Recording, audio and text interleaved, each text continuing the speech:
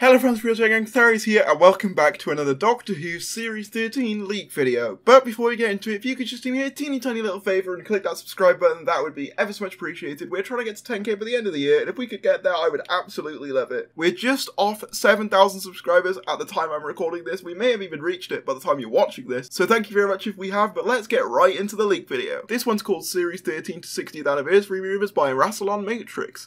Again, I think someone who we're familiar with by this point, I'm pretty sure. Here's some things I've been hearing through the grapevine at my work, who have connections to production at BBC Wales. I'm not on any of the projects myself, so don't know if it's just hearsay, but I thought I would share them in case they're legit. Mainly because they're pretty bloody exciting. With that, don't take them with an absolute truth, because most likely some of them aren't correct. Jo Martin and Sacha Dhawan are in the specials and Series 13 finale.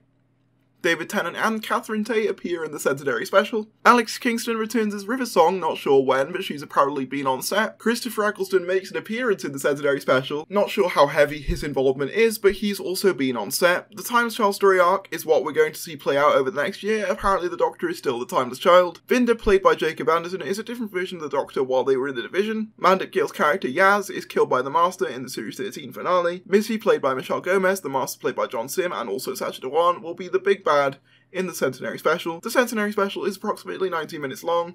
Hello, it's me! I'm Joe from the Confused Adipose YouTube channel. And in all fairness, you're probably wondering what I'm doing here. I'm editing this video for Tharries, and he's given me 30 seconds of creative license to say whatever I want. I have two things to say. First up, I have a Doctor Who fan film currently in production called Echoes End, but hopefully coming by the end of summer. Go and subscribe. And the second most important thing, unsubscribe from Tharries right now. His leaks are a load of bollocks. The next showrunner is up in the air. I've heard it's Pete McTighe, but then I also heard that it's Steve Pemberton and Reece Shearsmith, with Mark Gatiss also joining them. There's also a rumour about Phoebe Waller-Bridge and Emerald Fennell having been approached by the BBC and offered some serious cash to take over the show. This was months back at the end of the year, so I expect everything is in place by now. The next Doctor is also up in the air. Lydia West was a name that's been chucked about, along with Ollie Alexander. This was prior to the It's a Sin release.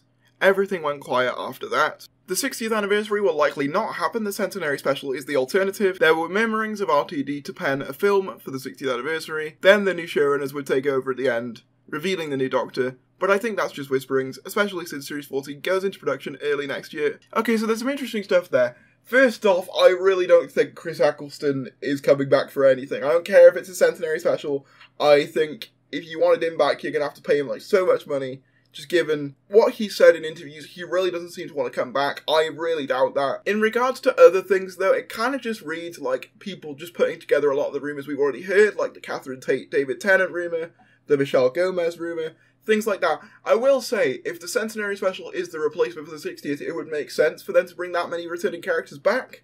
With that said, however, I really don't like the idea of the Centenary Special taking over for the 60th, mainly because I really like the tradition of having a big blowout special for the 60th and for each 10 years. With that said, though, I think we're just going to have to get used to it if that is the case. The next showrunner being Pete McTighe, I mean, that's one of the most common names floated about. I don't really have much to say on that. I think he's a bit of a generic choice. Jacob Anderson playing a different version of the Doctor.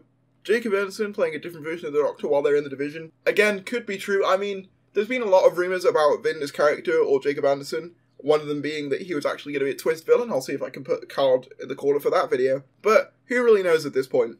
Alex Kingston returning as River Song, again, just sort of reads as like a generic rumour. The idea that the Doctor is still the Timeless Child, I'm not overly keen on. I did sort of hope that it was going to be changed in Series 13 somewhat, but that doesn't seem to be happening according to this leak. Again, this leak could be complete bollocks. I always say that with most of these videos, but if this is true, then I, I'm not too keen on the idea of the Timeless Child still being the Doctor by the time Series 13 comes to a close. But be sure to let me know what you guys thought about these leaks in the comments below. Did you enjoy this video? Well, if you did, please give it a like, comment down below your thoughts, and subscribe if you're new, and I will see you later.